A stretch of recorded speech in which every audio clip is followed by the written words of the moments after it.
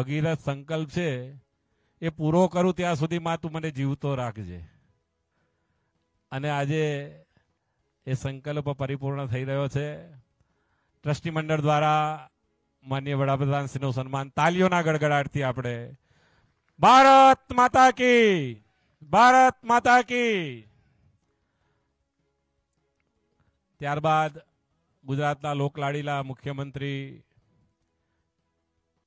શ્રી ભૂપેન્દ્રભાઈ પટેલનું સ્વાગત કરવા માટે માન્ય અશોકભાઈ પંડ્યા ટ્રસ્ટી કમ મંત્રીને વિનંતી કરી સાલ અને માતાજીની છબી દ્વારા માન્ય શ્રી મુખ્યમંત્રીજીનું સ્વાગત કરશે.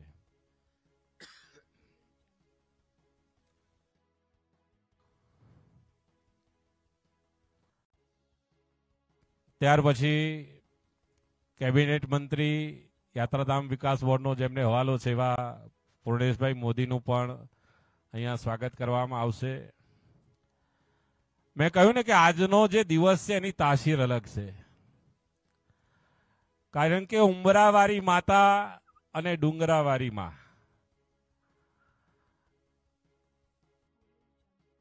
આજે આદરણીય વડાપ્રધાન શ્રીના માતૃશ્રી સત્તાયુ વર્ષમાં પ્રવેશ કરી રહ્યા છે. અને અત્યારે ડુંગરાવાળી માના આશીર્વાદ એમણે લીધા.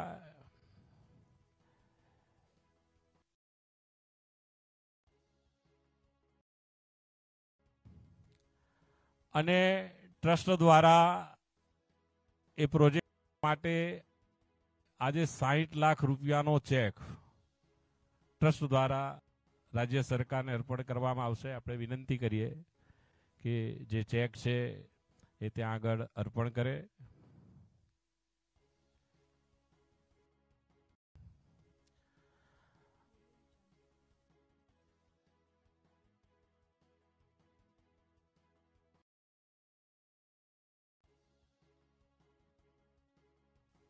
વડના વૃક્ષનો છોડ. એ વૃક્ષનો છોડ અર્પણ કરવામાં આવશે. વડલો છે ને વિશ્વાસનું પ્રતીક માનવામાં આવે છે. અને એ આજે માન્ય મુખ્યમંત્રીશ્રીને પર્યાવરણના જતન માટે અર્પણ કરવામાં આવે છે. આ પ્રસંગે આપણે આ ટ્રસ્ટના પ્રમુખ આદરણીય સુરેન્દ્રભાઈ પટેલને વિનંતી કરીએ કે સ્વાગત પ્રવચન કરે.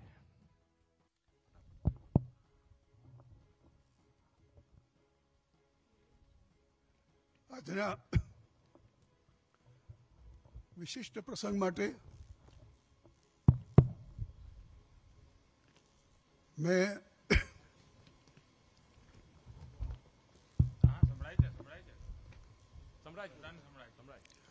મેં માતાજીના ઉપાસક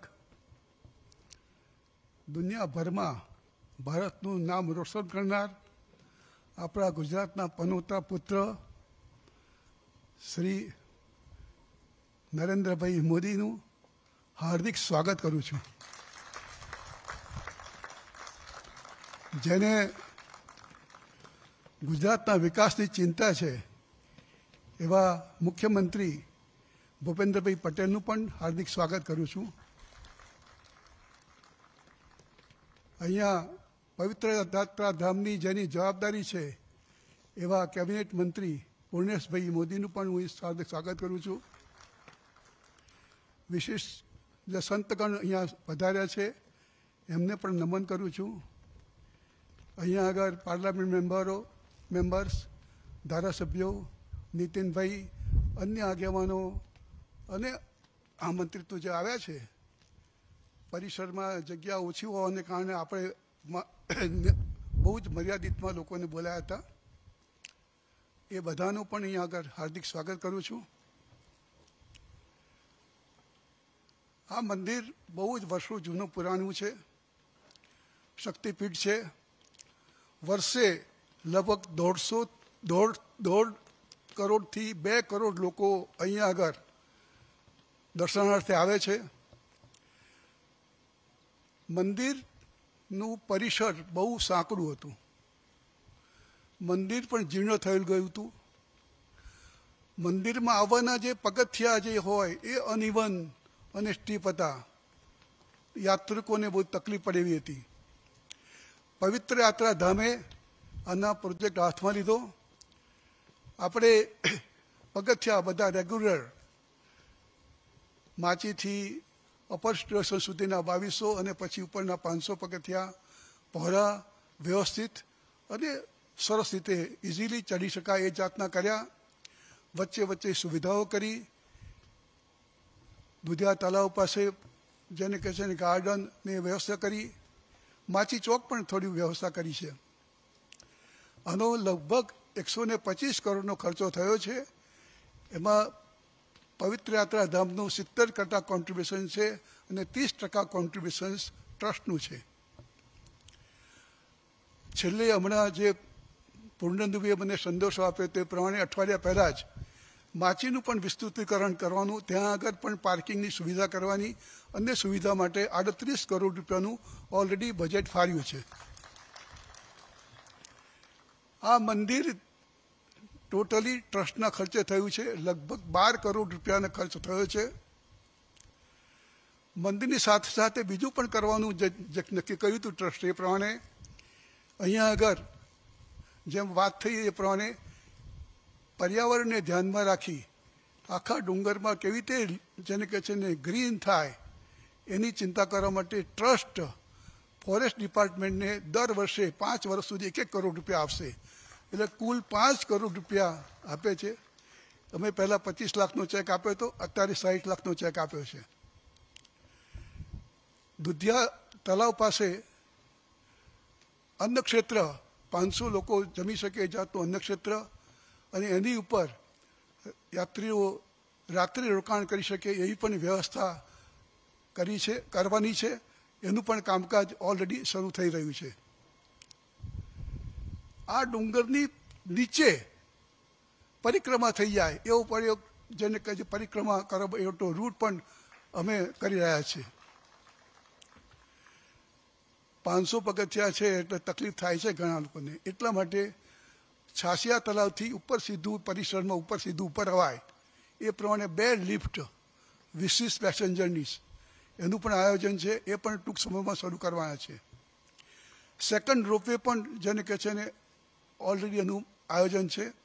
આમ વિવિધ બધી વધારે વ્યવસ્થા થઈ શકે. યાત્રાકોને સગવડ પડે એ પ્રમાણે ચિંતા સતત કરીએ છીએ અને કરી રહ્યા છીએ. અગત્યનું માતાજીનો ગોખ જો જૂનો હતો, એ એક્ઝિટ રાખી મૂકી છે. એમાં કોઈ ફેરફાર નથી કર્યો. એ સિવાય બાકીનું બધું જ તમે જોઈ શકો છો કે બધું જ નવેસર થયું છે. પર્વત પર કરવાને કારણે અને આવું માતાજીનો ગોખ રાખીને કરવા માટેનું અને યાત્રકોના દર્શન બંધ ના થાય, એ જાતની જાતનું બાંધકામ કર્યું છે. એમાં આખું પરિસરનો જે વિકાસ થયો છે, એના માટે પવિત્ર યાત્રા ધામનો મોટો સહકાર મળ્યો છે અમને. અમારા આર્કિટેક્ટ જયેશભાઈ પારેખ, સોમપુરા આશીષભાઈ, ધીરેનભાઈ, વિરેન્દ્રભાઈ પરેશભાઈ પટેલ અને આ લોકોની સખત મહેનત, અમારા ટ્રસ્ટી મંડળનો સહકાર અને અહીંયા જે છે, એ લોકોના પણ સહકારથી અને વિશેષ માત્ર ને માત્ર માતાજીની અસીમ કૃપાથી આ થઈ શક્યું છે, એનો અમને આનંદ છે. ફરીવાર આપ સૌનું સ્વાગત કરું છું હર્ષની લાગણી પરવું છું, અને આવી ને આવી આપણા બધા લોકોના જેને કહે છે ને શુભેચ્છા રહેશે એવી પ્રાર્થના કરી નિવડું છું અસ્તુ. ખૂબ ખૂબ આભાર કાકા. હવે આપણે ગુજરાતના લોકલાડીલા મુખ્યમંત્રી માન્ય શ્રી ભૂપેન્દ્રભાઈ પટેલને વિનંતી કરીએ કે ઉદ્બોધન કરે.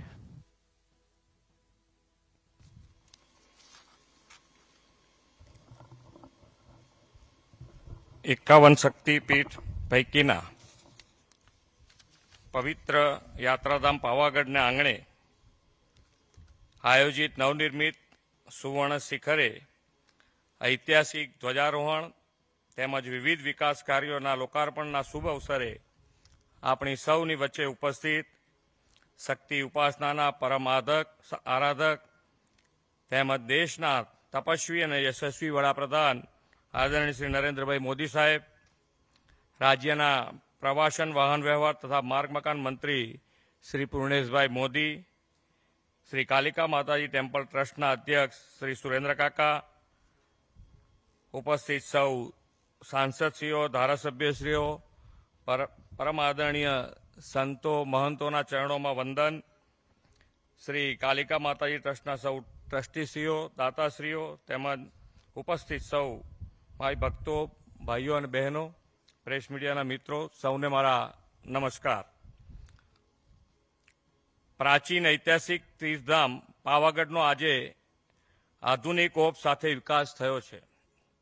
દેશના યશસ્વી વડાપ્રધાન અને શક્તિની ભક્તિના પરમ ઉપાસક આદરણીય શ્રી નરેન્દ્રભાઈના હસ્તે આ વિકાસ કામોની ભેટ પાવાગઢ ધામને અર્પણ થઈ રહી છે. પાવાગઢ એ ગુજરાતના લાખો લોકોની આસ્થાનું પ્રતીક છે. અહીં દર વર્ષે લાખો લોકો દર્શનાર્થે આવતા હોય છે.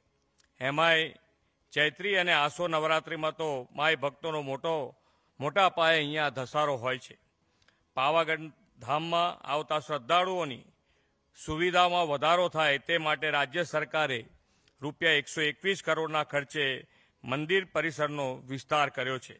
સાથે જ તળેટીના માચી વિસ્તારમાં યાત્રિકોને પૂરતી પાયાની સગવડ ઉપલબ્ધ કરાવવા માટે આવનાર દિવસોમાં રૂપિયા સાડત્રીસ કરોડના ખર્ચે કામ હાથ ધરનાર છે. ગુજરાતમાં આદરણીય શ્રી નરેન્દ્રભાઈના માર્ગદર્શનમાં પ્રવાસન પ્રવૃત્તિને ખૂબ વેગ મળ્યો છે. ગુજરાતની પવિત્ર ભૂમિ પર અનેક પ્રતિષ્ઠિત દેવસ્થાનો છે. તેના કારણે આજે પિલગ્રિમેજ ટુરિઝમનો રાજ્યમાં મોટા પાયે વિકાસ થયો છે. જ્યારે પ્રવાસીઓની સંખ્યા વધે, ત્યારે તેને અનુકૂળ સગવડતાઓ, યુક્ત, સ્વચ્છ અને સુંદર યાત્રાધામો હોય તે પણ જરૂરી છે. રાજ્ય સરકાર યાત્રિકોની પ્રાર્થના અને પર્યટન બંને સુગમ બને તે માટે સતત પ્રયત્નશીલ છે. આના પરિણામે ગુજરાતના યાત્રાધામો ભવ્ય બની રહ્યા છે. વડાપ્રધાનશ્રી દ્વારા યાત્રાધામના વિકાસ માટે શરૂ કરવામાં આવેલી ભારત સરકારની પ્રસાદ યોજનામાં દ્વારકા, સોમનાથ અને અંબાજીનો સમાવેશ કરતા આ યાત્રાધામોના વિકાસને વધુ વેગ મળ્યો છે. સોમનાથ દર્શને આવતા પ્રવાસીઓ માટે આધુનિક સગવડતાવાળા સર્કિટ હાઉસનું નિર્માણ કરવામાં આવ્યું છે. તાજેતરમાં તેનું લોકાર્પણ માન્ય વડાપ્રધાનશ્રીના હસ્તે થયું છે. અંબાજીમાં સુવર્ણજડિત મંદિરની સાથે એકાવન શક્તિપીઠ પરિક્રમા પથ તૈયાર થતા યાત્રિકોને એક જ સ્થળે એકાવન શક્તિપીઠના દર્શનનો લાભ મળતો થયો છે. રૂપિયા એકસઠ કરોડના ખર્ચે નિર્માણ થયેલા આ પરિક્રમા પથ અને લાઇટ એન્ડ સાઉન્ડ શો શરૂ થતાં યાત્રાળુની સંખ્યામાં મોટો વધારો જોવા મળ્યો છે. પહેલાં દર વર્ષે જ્યારે પંચોતેર હજાર શ્રદ્ધાળુઓ આવતા, ત્યારે માત્ર ત્રણ જ મહિનામાં દોઢ લાખ શ્રદ્ધાળુઓએ આનો લાભ લીધો છે. આદરણીય વડાપ્રધાનશ્રીની પ્રેરણાથી માધવપુરા ગેટના પવિત્ર મેળાનું રાજ્યમાં દર વર્ષે ભારત સરકાર દ્વારા આયોજન થાય છે. પૂર્વોત્તર ભારત અને પશ્ચિમ ભારતના સાંસ્કૃતિક અનુબંધનને ઉજાગર કરતા માધુપુરાના આ વર્ષના મેળાનું ઉદ્ઘાટન આદરણીય રાષ્ટ્રપતિ શ્રી રામનાથ કોવિંદજી દ્વારા કરવામાં આવ્યું હતું. આ મેળા દ્વારા રાજ્યના પ્રવાસનને વેગ મળવાની સાથે એક ભારત શ્રેષ્ઠ ભારતની વડાપ્રધાનશ્રીની નેમ પણ સાકાર થાય છે. આપણે જાણીએ છીએ કે ચાંપાનેરને પણ વર્લ્ડ હેરિટેજ સાઇટનો દરજ્જો મળ્યો છે. અહીં દુનિયાભરમાંથી પ્રવાસીઓ આવે છે. અહીં આવતા પ્રવાસીઓને વધુ સારી સુવિધા મળે તે માટે આ વર્ષના બજેટમાં રૂપિયા વીસ કરોડની જોગવાઈ પણ કરી છે. વડાપ્રધાનશ્રીના દિશા દર્શનમાં સરકારે યાત્રાધામોને સુયોજિત વિકાસ કર્યો છે. હવે આપણી જવાબદારી પણ વધે છે. આ સુવિધાઓનો વિવેકપૂર્વક ઉપયોગ થાય યાત્રાધામ પરિસર સ્વચ્છ રહે તે આપણા પર નિર્ભર છે આદરણીય વડાપ્રધાન શ્રી નરેન્દ્રભાઈ મોદીએ મન કી બાત કાર્યક્રમમાં દેશના નાગરિકોને અપીલ કરી હતી કે આપણી નજીકના મંદિરો અને પવિત્ર સ્થળોની સાફ સફાઈનું ધ્યાન રાખીએ આપણે સૌ આજે અહીંથી સંકલ્પબદ્ધ થઈએ કે આપણે ગુજરાતના તમામ યાત્રાધામોને સ્વચ્છ રાખવામાં પોતાનું યોગદાન આપીશું મહાકાળી માતાના કૃપા આશીષ ગુજરાત પર. અવિરત વરસતા રહે અને ગુજરાત વિકાસની રાહે આગળ ને આગળ વધતું રહે. એ જ માતાના ચરણોમાં પ્રાર્થના કરી વિરમું છું. જય માતાજી. ભારત માતા કી જય. વંદે માતરમ. જય જય ગરવી ગુજરાત. ખૂબ ખૂબ આભાર મુખ્યમંત્રી શ્રી. આપણે જેને સાંભળવા માટે આતુર છીએ એવા ગુજરાતના પનોતા પુત્ર ભારત માતાના સપૂત. યશસ્વી વડાપ્રધાન માન્ય શ્રી નરેન્દ્રભાઈને વિનંતી કરું કે આપણને આવીને ઉદ્બોધન કરે. भारत माता की, भारत माता की।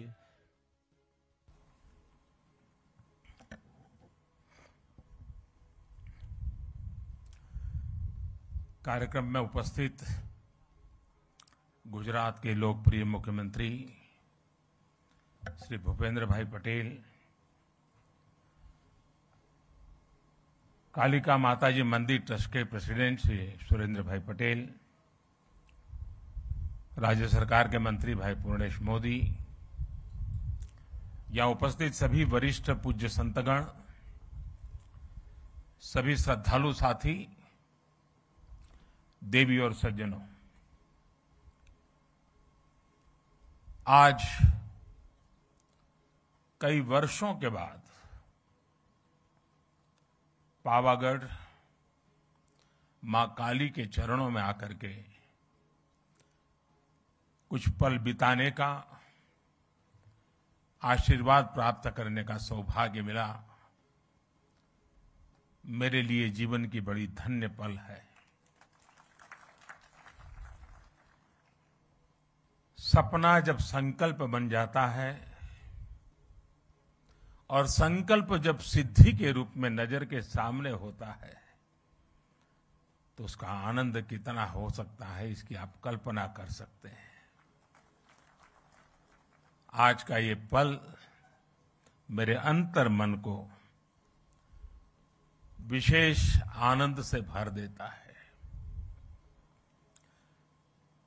कल्पना कर सकते हैं, पाँच शताब्दी के बाद और आज़ादी के 75 साल बीतने के बाद पाँच शताब्दी तक माँ काली के शिखर पर ध्वजा नहीं फहरी थी। आज माँ काली के शिखर पर ध्वजा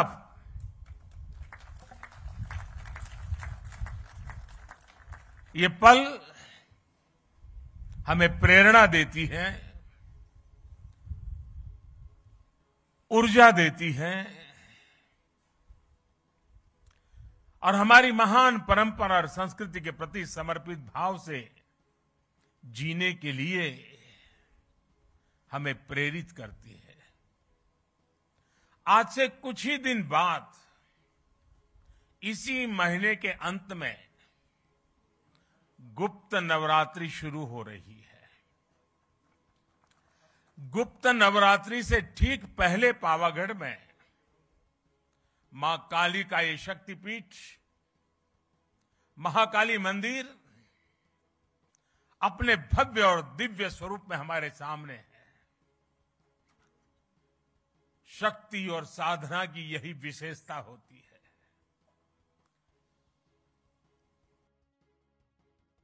गुप्त नवरात्रि है, लेकिन शक्ति सुप्त नहीं होती है, शक्ति कभी लुप्त नहीं होती है। जब श्रद्धा, साधना और तपस्या फलीभूत होते हैं तो शक्ति अपने पूर्ण वैभव के साथ प्रकट हो जाती है। पावागढ़ में महाकाली के आशीर्वाद से हम गुजरात और भारत की उसी शक्ति का प्राकट्य देख रहे हैं। आज सदियों बाद महाकाली का ये मंदिर, अपने विशाल स्वरूप में हमारे सामने, हमारे मस्तक को भी ऊँचा कर देता है।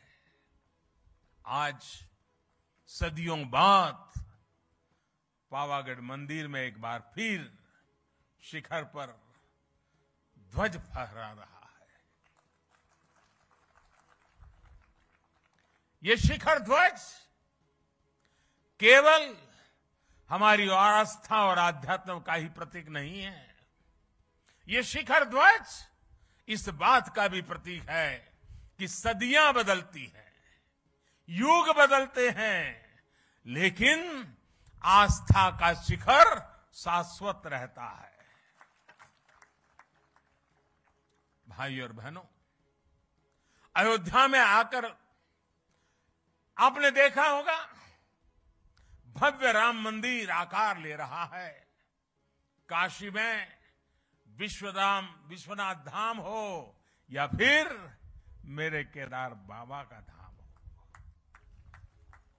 आज भारत के आध्यात्मिक और सांस्कृतिक गौरव पुनर्स्थापित हो रहे हैं। आज नया भारत अपनी आधुनिक आकांक्षाओं के साथ साथ अपनी प्राचीन धरोहर को भी, अपनी प्राचीन पहचान को भी उसी उमंग और उत्साह के साथ जी रहा है।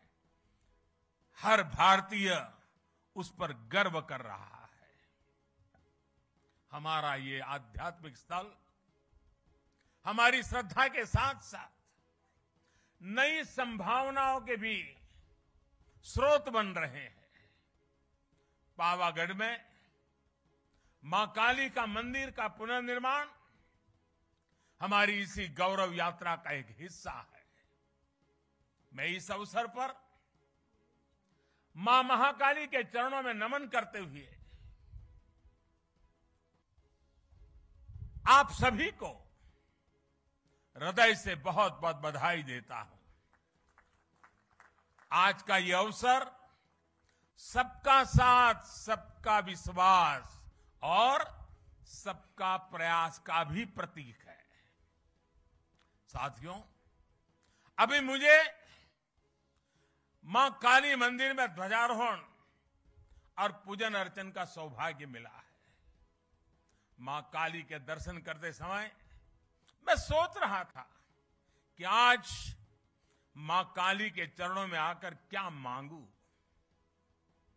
माँ काली का आशीर्वाद लेकर इतिहास गवाह है। स्वामी विवेकानंद जी, माँ काली के आशीर्वाद लेकर के जन सेवा से प्रभु सेवा में लीन हो गए थे माँ, मुझे भी आशीर्वाद दे कि मैं और अधिक ऊर्जा के साथ और अधिक त्याग और समर्पण के साथ देश के जन जन का सेवक बनकर उनकी सेवा करता रहूँ। मेरा जो भी सामर्थ्य है, मेरे जीवन में जो भी कुछ पुण्य है, वो मैं देश की माताओं, बहनों के कल्याण के लिए देश के लिए समर्पित करता रहूँ। गर्वी गुजरात, इस समय, इस गर्वी गुजरात की धरती से, माँ काली के चरणों से, मैं देश की आज़ादी के अमृत महोत्सव का भी स्मरण करता हूँ। साथियों, गुजरात ने जितना योगदान देश की आज़ादी की लड़ाई में दिया है उतना ही योगदान देश के विकास में भी दिया है। गर्वी गुजरात भारत के गर्व और शान का पर्याय है। गुजरात ने भारत के व्यापार का भी नेतृत्व किया और भारत के आध्यात्मता का भी उसे संरक्षित करने का पूरा प्रयास किया। सदियों के संघर्ष के बाद जब भारत आज़ाद हुआ तो हम गुलामी और अत्याचार के घावों से भरे हुए थे। हमारे सामने उस अपने अस्तित्व को फिर से खड़ा करने की चुनौती, उसको लेकर के हम खड़े थे, लड़े थे। भारत के इस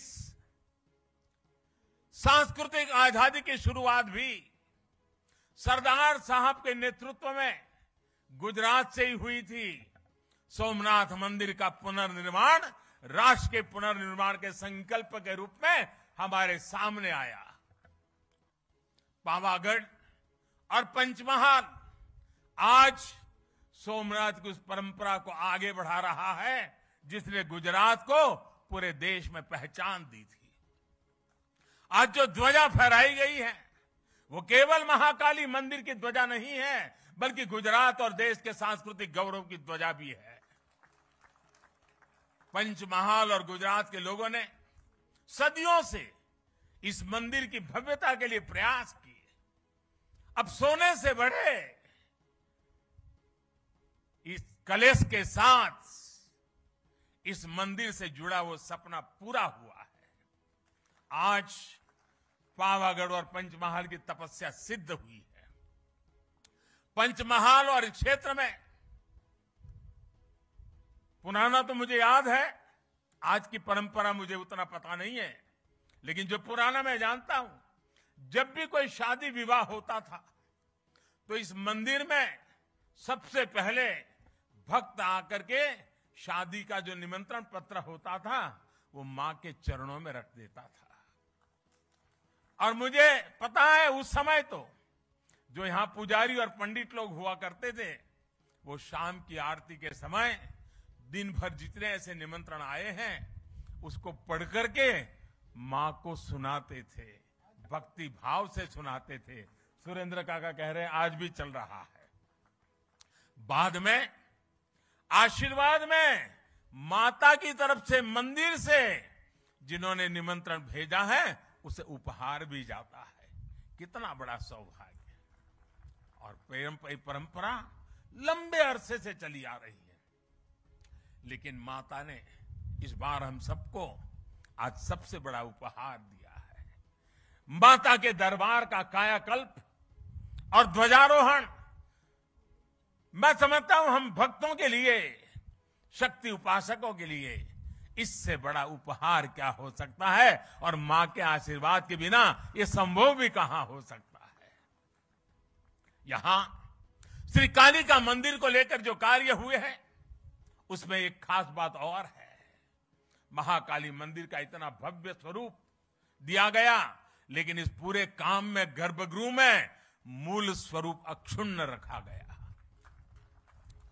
इसे सेवा यज्ञ में गुजरात सरकार पवित्र तीर्थ यात्रा विकास बोर्ड और ट्रस्ट के लोगों ने मिलकर काम किया। मुझे बताया गया कि मंदिर परिषद की पूरी परिक्रमा के लिए अभी सुरेंद्र भाई बता रहे थे, दूधिया तालाब और छासिया तालाब को जोड़ने वाला एक परिक्रमा पथ भी तैयार किया जाएगा। यज्ञशाला, भोजनशाला, पर्यटकों के लिए भक्त निवास और छासिया झील से माता जी के मंदिर तक लिफ्ट जैसी सुविधाएँ, इसका निर्माण भी किया जाएगा। साथ ही माची के पास अतिथि गृह और मल्टी लेवल पार्किंग का निर्माण भी होगा। पहले यहाँ पहुँचने के लिए श्रद्धालुओं को कई घंटे लग जाते थे। सीढ़ियों से चढ़ना, यात्रा की थकावट, कठिनाइयों से गुजरना पड़ता था। पहले सीढ़ियाँ भी कैसी थी जो पहले आए हैं उनको पता है। उसको सीढ़ी कह सके कि न कह सके, ये हाल था। लेकिन आज वो भी रचना अच्छी हो गई है। अब मंदिर तक पहुँचने के लिए अच्छे पत्थर से अच्छी सीढ़ियाँ बनाई गई है। सीढ़ियाँ की ऊंचाई भी ज़्यादा नहीं है। बराबर हिसाब से रखा है ताकि चढ़ने वाले को दिक्कत ना हो। पहले मंदिर परिषद में दो दर्जन लोग भी एक साथ नहीं पहुँच पाते थे। आज सौ से, भी ज़्यादा लोग एक साथ यहाँ आ सकते हैं पूजा अर्चन कर सकते हैं। भीड़ का दबाव कम हुआ है तो यात्रियों के लिए सुरक्षा भी बढ़ी है। मंदिर परिषद के विस्तार से भगदड़ जैसी घटनाओं से भी बचा जा सके और हमें निरंतर जागरूक रहना ही पड़ता है ऐसी जगह पे। और अब तो इसके बाद शायद यात्रियों की संख्या बढ़ जाएगी। हमें उन सारी व्यवस्थाओं की चिंता करते रहना पड़ेगा। और मैं अभी से सभी काली भक्तों से प्रार्थना करता हूँ कि अनुशासन का पालन करना होगा, क्योंकि कठिन जगह है। कोई हादसा न हो जाए। पहले कई बार हादसे होते थे, बड़ी चिंता सताती थी, लेकिन माँ के आशीर्वाद से फिर गाड़ी चल पड़ती थी। मैं चाहूँगा हम उस अनुशासन का भी पालन करेंगे, क्योंकि कठिन स्थान है, ऊँचा स्थान है, कठिनाइयों के बीच काम करना होता है। तो हम जितना अनुशासन का पालन करेंगे, यात्रा भी अच्छी होगी, माँ के आशीर्वाद भी प्राप्त होंगे।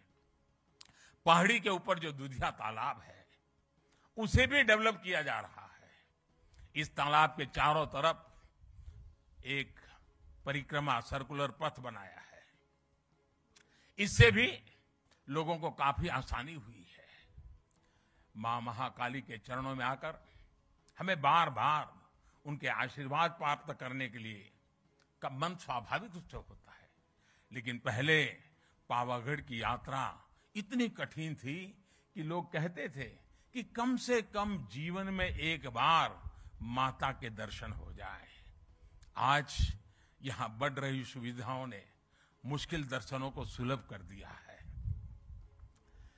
माताएँ, बहनें, बुज़ुर्ग, बच्चे, युवा, दिव्यांग, हर कोई अब आसानी से माँ के चरणों में आकर के अपने भक्ति का, माँ के प्रसाद का सहज लाभ ले सकते हैं। अभी मैं खुद भी यहाँ पहुँचने के लिए टेक्नोलॉजी के माध्यम से आया रॉपवे के माध्यम से आया। रॉपवे में न केवल ये यात्रा आसान की है, बल्कि रॉपवे से पावागढ़ की अद्भुत जो खूबसूरती है, उसका आनंद भी मिलता है। आज गुजरात में कई तीर्थ और पर्यटन स्थल ऐसे रॉपवे से जुड़ रहे हैं। पावागढ़, सापुतारा, अंबाजी, गिरनार में रॉपवे होने से लोगों का काफ़ी सहूलियत मिल रही है। पावागढ़, माँ अंबा और सोमनाथ द्वारकेश की आशीर्वाद से ही गुजरात गर्वी गुजरात बना है। गुजरात के महान कवि नर्मद ने गुजरात की सांस्कृतिक महिमा का वर्णन करते हुए लिखा है, उत्तर मामा अंबा मात, पूरब माँ काली मात, छे दक्षिण दिशा में करता रक्षा, कुंतेश्वर महादेव। ने सोमनाथ ने द्वारके से पश्चिम केरा देव छे। सहाय माँ साक्षात। जय जय गरवी गुजरात। आज गुजरात की यही पहचान आसमान छू रही है। कवि नर्मद ने गरवी गुजरात की पहचान के रूप में जिन सांस्कृतिक केंद्रों का नाम लिया है, आज वो सभी तीर्थ एक नई विकास यात्रा पर आगे बढ़ रहे हैं। आस्था के साथ साथ तीर्थों और मंदिरों के विकास में आधुनिक तकनीक का इस्तेमाल किया जा रहा है। सभी तीर्थों पर यात्री सुविधाओं का विकास किया गया है। गुजरात के तीर्थों में अब दिव्यता भी है, शांति भी है, समाधान भी है, संतोष भी है, और इससे बड़ा सुख क्या हो सकता है? अगर माता के ही मंदिरों की बात करें शक्ति के सामर्थ्य की बात करें तो हम गुजरात के लोग इतने भाग्यवान रहे हैं और माँ शक्ति की पूजा करने वाले भक्तों के लिए गुजरात में तो पूरा एक शक्ति चक्र है, एक शक्ति रक्षा चक्र है। गुजरात का रक्षा कवच के रूप में वो काम कर रहा है। गुजरात के अलग अलग क्षेत्रों में विराजमान शक्ति रूपेण माताएँ गुजरात का निरंतर आशीर्वाद देती है और गुजरात की रक्षा करती है। बनासकांठा में माँ अंबाजी, पावागढ़ में माँ काली, चोटीला में चामुंडा माँ, ऊंझा में उमिया माँ, कच्छ में के माताजी नो मढ़ आशापुरा माँ, नवसारी के पास उनाई माता, डेड़िया के पास देवमोगरा माँ, भावनगर के पास खोडियार माँ महसाना के पास बहुचर माँ उधर हमारे खोड़ल धाम, उधर उमिया धाम, गिरनार के ऊपर अंबा माँ अनेक माताएँ हर कोने में हमें निरंतर आशीर्वाद रहे यानी हम कह सकते हैं कि हम पर एक शक्ति का आशीर्वाद है। अंबाजी में गब्बर फुट हिल्स अभी हमारे भूपेंद्र भाई वर्णन कर रहे थे। थ्री वीडियो प्रोजेक्शन मैपिंग की शुरुआत की गई है। साथ में महाआरती भी शुरू की गई है। केंद्र की प्रसाद योजना के तहत गब्बर तीर्थ का पुनरुद्धार भी किया जा रहा है। अंबाजी मंदिर परिसर के विकास की योजना पर भी काम चल रहा है। कोटेश्वर महादेव मंदिर, रिंछड़िया महादेव मंदिर जैसे पुण्य स्थानों का विकास भी किया जा रहा है। अभी कुछ समय पहले मुझे सोमनाथ मंदिर में भी कई विकास कार्यों के लोकार्पण का अवसर भी मिला था। द्वारिका में भी घाटों, यात्री सुविधाओं और मंदिरों के सौंदर्यीकरण पर भी काम किया गया है। पंचमहाल के लोगों से मेरा आग्रह होगा, बाहर से जो भी श्रद्धालु यहाँ दर्शन करने आए, उनको आप अपने राज्य के इन सभी स्थानों पर जाने के लिए ज़रूर कहिएगा। माधोपुर में जहाँ भगवान श्री कृष्ण और रुक्मणी का विवाह हुआ था, वहाँ रुक्मणी मंदिर का पुनर्विकास भी किया जाएगा। अभी अप्रैल के महीने में, जैसा भूपेंद्र भाई ने बताया, हमारे राष्ट्रपति जी ने माधवपुर गेट मेले का उद्घाटन करके वो स्वयं यहाँ आए थे। तीर्थों का ये विकास केवल आस्था के विकास का विषय तक से ही सीमित नहीं है, बल्कि हमारे तीर्थ, समाज की गतिशीलता और राष्ट्र की एकजुटता के भी एक एक बड़े महत्वपूर्ण जीवंत प्रतीक है। इन तीर्थों और मंदिरों में आने वाले श्रद्धालु अपने साथ कई नए अवसर भी लेकर आते हैं।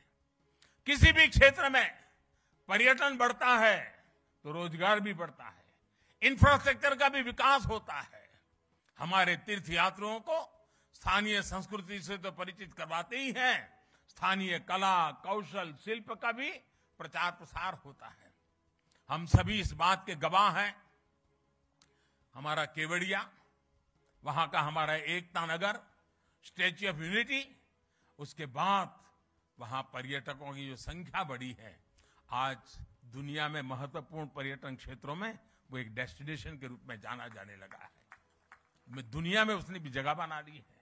इसी तरह सुविधाएँ बढ़ने के बाद काशी विश्वनाथ धाम और चारधाम यात्रा में भी श्रद्धालुओं की संख्या नित नए रिकॉर्ड बना रही है। इस बार तो केदारनाथ में अभी तो कुछ ही सप्ताह हुए हैं। सारे रिकॉर्ड तोड़ दिए हैं। इतने यात्री वहाँ पहुँचे हैं। पावागढ़ के विकास से मंदिर में आने वाले श्रद्धालुओं की संख्या बढ़ेगी। तो उसका लाभ, बड़ौदा हो पंचमाल हो इस पूरा हमारा, वनवासी पट्टा हो, हमारे आदिवासी भाई बहन हो, सबके जीवन में एक बहुत बड़ी ताकत भरने वाला है। जो श्रद्धालु मंदिर में आएँगे वह यहाँ से विरासत वन भी जाएँगे। विरासत वन, प्रकृति, पर्यावरण, परंपरा और आयुर्वेद जैसे विषयों पर देश के लिए एक बड़ा आकर्षण और प्रेरणा का केंद्र बन सकता है। इसी तरह आर्कियोलॉजिकल पार्क और पावागढ़ किला के लिए भी आकर्षण बढ़ने वाला है। विकास ये कार्य पंचमहाल को देश में प्रमुख पर्यटन स्थल के रूप में उभरने में मदद करेंगे। पावागढ़ में अध्यात्म भी है, इतिहास भी है, प्रकृति भी है, कला संस्कृति भी है। यहाँ एक और माँ महाकाली का शक्तिपीठ है तो दूसरी ओर जैन मंदिर की धरोहर भी है। यानी पावागढ़ एक तरह से भारत के ऐतिहासिक विविधता के साथ सर्वधर्म संभाव का केंद्र रहा है। यूनेस्को ने चांपानेर के पुरातत्व स्थल को विश्व धरोहर वर्ल्ड हेरिटेज के रूप में, स्थल के रूप में इस साइट को दर्ज किया हुआ है। यहाँ पड़ता हुआ पर्यटन, यहाँ की पहचान को भी और मज़बूत करेगा। पंचमहल में पर्यटन की संभावनाओं के साथ साथ यहाँ के युवाओं के लिए बड़ी बड़ी संख्या में नए अवसर तैयार होने वाले हैं। हमारे आदिवासी भाई बहनों के विशेष रूप से रोज़गार के नए अवसर आने वाले हैं। आदिवासी समाज की कला, संस्कृति और पारंपरिक कौशल को भी नई पहचान मिलने वाली है। और हमारा पंचमाल तो बैजू बावरा जैसे महान गायकों की धरती रहा है। वो प्रतिभा आज भी यहाँ की मिट्टी में है। जहाँ जहाँ विरासत, वन और संस्कृति मज़बूत होती है, वहाँ कला और प्रतिभा भी पल्लवित होती है। हमें इस प्रतिभा को भी उभारना है, नई पहचान भी देनी है। चांपानेर वो जगह है जहाँ साल 2006 में गुजरात का गौरव बढ़ाने वाली ज्योतिर्ग्राम योजना की शुरुआत हुई थी। मैं जब मुख्यमंत्री बना, तब लोग मुझे कहते थे, साहब, कम से कम शाम को खाना खाते समय बिजली मिले, इतनी व्यवस्था करो। यही माँ काली के चरणों में बैठ करके हमने ज्योतिर्गाम योजना से गुजरात में और देश में पहली बार 24 घंटे घरों में बिजली पहुँचाने में सफलता प्राप्त की थी। और तब, उस समय के हमारे राष्ट्रपति, श्री एपीजे अब्दुल कलाम जी, उस कार्यक्रम में आए थे और उनके कर कमलों से हमने उसको लॉन्च किया था। ज्योतिर्गाम योजना ने गुजरात के विकास में एक नया अध्याय जोड़ा। इस योजना की वजह से गुजरात के लोगों को 24 घंटे बिजली मिलना शुरू हुआ। पावरगढ़ का नाम ही एक प्रकार से हवा का गढ़ है। यहाँ वासुदेव की विशेष कृपा रहती है। मुझे विश्वास है कि हमारे सांस्कृतिक पुनरुत्थान और विकास की जो हवा पावागढ़ में बह रही है, इसकी महक भी पूरे गुजरात और देश में पहुंचेगी। इसी भाव के साथ मैं महाकाली के चरणों में एक बार फिर मेरा नमन करता हूँ। आप सभी को भी एक बार फिर बहुत बहुत शुभकामनाएँ देता हूँ।